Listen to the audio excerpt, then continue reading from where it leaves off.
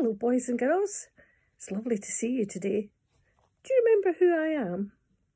Some of you will know, but those of you new to Bardykes Farm Nursery might not have met me yet. My name's Mrs Wilkie. I'm Kim's mummy and Alexandra and Jessica's granny, or super gran as they call me. Well, today I'm in my bedroom because it's so cold outside today. And I wanted to have a wee chat with you. I'm going to tell you a story, but I want to have a wee chat with you about something called literacy. What on earth is literacy? Well, grown-ups sometimes use the word literacy to mean when they're using words, when they're speaking, or when they're reading words in a book or a newspaper, or when they're putting letters together to make words. That's literacy. You can see letters and words all around you all the time.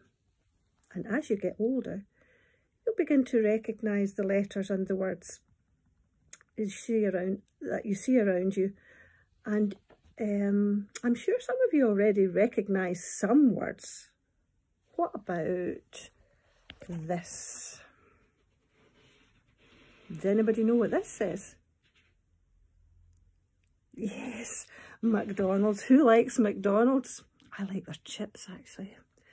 And what about this word?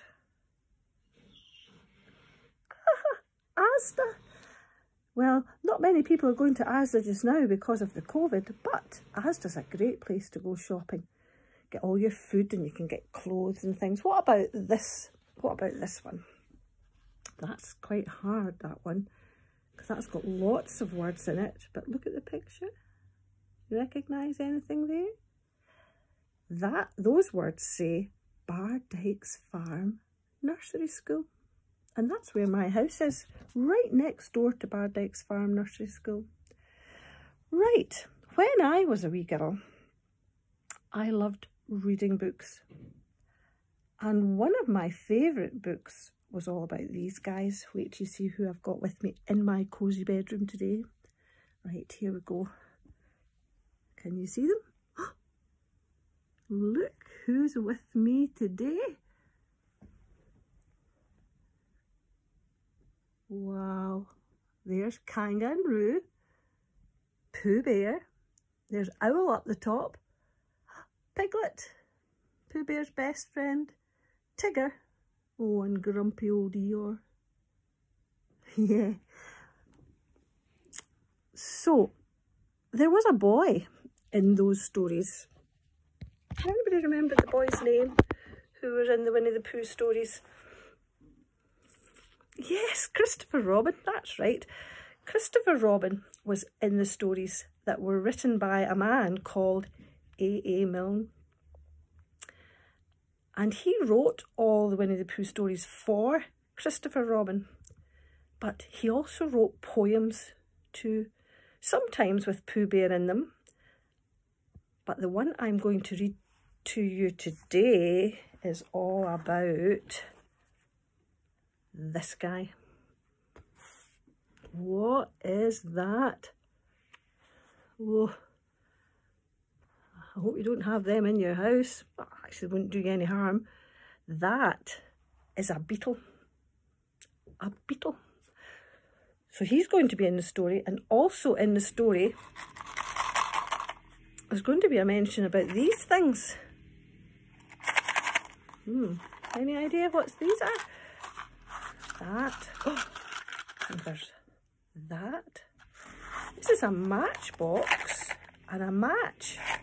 Right, matches are used for lighting birthday cakes, but lighting candles on birthday cakes, but only grown-ups, only grown-ups use matches because they're very, very dangerous. But they're going to be mentioned in the story. Hmm, I wonder how. So, the poem was written as if Christopher Robin was telling the story himself. So here we go. Now it's from this book. Now this was the actual book that I read when I was a wee girl. And if you see inside, I even wrote my name. Ailsa Thompson was my name. And the book's very, very old. Some of the pages are even coming out. So, it's called Now We Are Six, as you can see on the front. Now We Are Six. So here we go. It's called Forgiven. I found a little beetle, and Beetle was his name. So I called him Alexander, and he answers just the same. I put him in a matchbox and I kept him all the day. And Nanny let my beetle out. Yes, Nanny let my beetle out. She went and let my beetle out and Beetle ran away. She said she didn't mean it and I never said she did. She said she wanted matches and she just took off the lid. She said that she was sorry, but it's difficult to catch an excited sort of beetle you've mistaken for a match. She said that she was sorry, and I really shouldn't mind, as there's lots and lots of beetles, which she's certain we could find if we look about the garden for the holes where beetles hide. And we'd get another matchbox and write beetle, beetle on the lid.